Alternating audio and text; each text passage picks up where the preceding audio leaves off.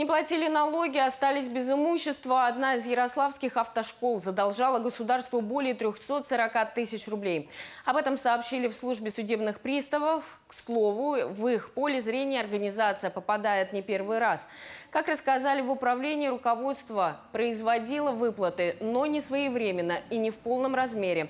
В связи с этим на имущество автошколы был наложен арест пока в отношении одного автобуса.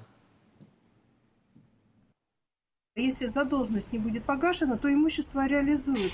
На данный момент имущество автобус оставлено на ответственное хранение с правом пользования. Соответственно, организация не потерпит никаких убытков, связанных с клиентами предоставлением услуг.